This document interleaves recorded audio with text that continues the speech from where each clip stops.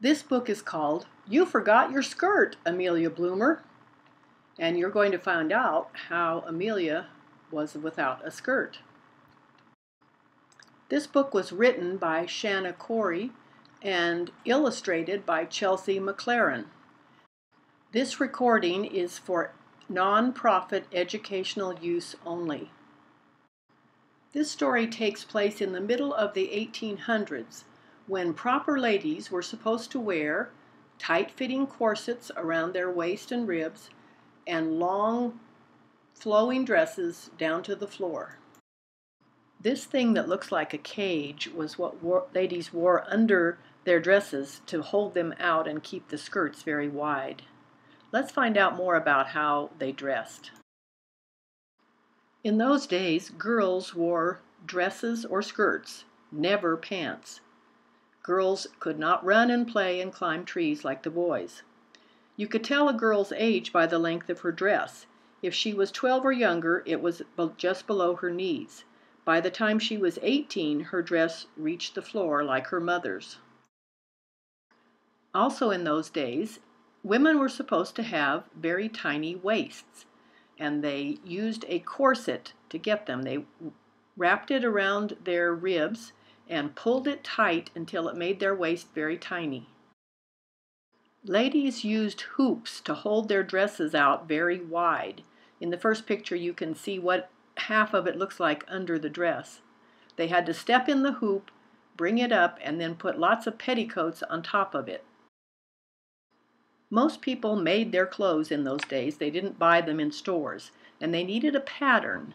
A pattern were pieces of paper that you pinned to the cloth in order to cut out the right shape and size of pieces so that you could sew them together. Now let's find out what Amelia Bloomer is up to. Amelia Bloomer was not a proper lady, and you can see that she did not like these clothes that were full of ruffles and bows and flowers, and she's pushing them away. Proper ladies wore gloves and hats and carried fans and parasols, which were like little umbrellas. Amelia Bloomer thought proper ladies were silly. She thought it was silly that proper ladies were not allowed to vote, so she tried to change the laws so they could. And she's carrying a sign that says, A woman's right to vote. Good grief, people said. Amelia Bloomer thought it was silly that proper ladies were not supposed to work. So she started her own newspaper, and here she is typing up a story on an old typewriter. She printed the paper herself on her own printing press. She named the newspaper The Lily. It was a special newspaper all about women. She hired other women to work on it too. Some women who saw her newspaper said, Work? Why work? That's ridiculous. But the silliest thing of all, thought Amelia Bloomer, was the way proper ladies were supposed to dress. Their dresses were so heavy, wearing them was like carting around a dozen bricks. What was proper about that? Their dresses were so long that proper ladies looked like walking broomsticks, and they acted like them too because their skirts swept up all the mud and trash from the street. What was proper about that? Underneath their dresses, proper ladies wore corsets that were so tight it was hard to breathe in them, and they were hard to get into. It was so hard to breathe in these corsets that proper ladies were fainting at the drop of a hat. What was proper about that? And the cages and hoops they wore beneath their dresses were so wide that no matter how they squeezed, no matter how they squished and squashed and stuffed themselves through, proper ladies still got stuck in doorways all over town. What was proper about that? Even little girls had to wear proper dresses, so they couldn't run or jump or play. This has got to stop, declared Amelia Bloomer. Then one day, Amelia's friend Elizabeth Cady Stanton came to visit. Elizabeth brought her cousin Libby with her. Libby looked remarkable. She was even more improper than Amelia because Libby was not wearing a dress. That's Libby in the light blue outfit. Libby said, Dresses! Bah! How silly! Libby was wearing something that was not too heavy and not too long and not too tight and not too wide. It looked just right. Brilliant, said Amelia. Here's what Libby was wearing. It looks like a shorter dress with pants under it, which is what it was. But for those times, it was crazy. Ladies did not ever wear pants. Amelia was so excited that she went right home and made a pattern so she would know how to cut material.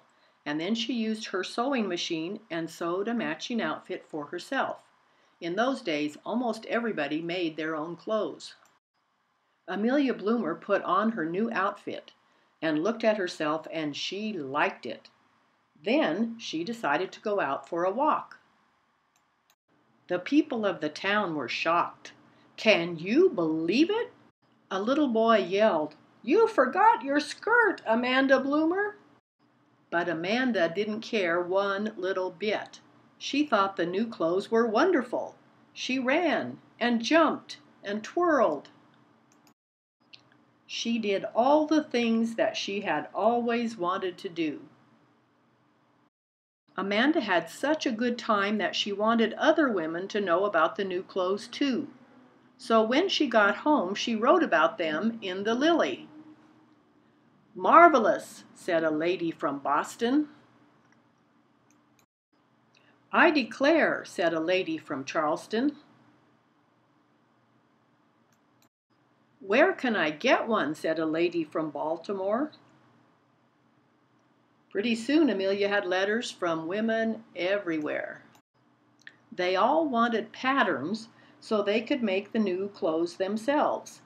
Some of them even wanted tips on what to wear with the new style. Some people called the new style of clothes the American costume, but most people called them bloomers after Amelia Bloomer. Of course, not everyone liked bloomers. Hm, said one very proper gentleman. Balderdash, said another. This can only lead to more rights for women. Over time, bloomers went out of style.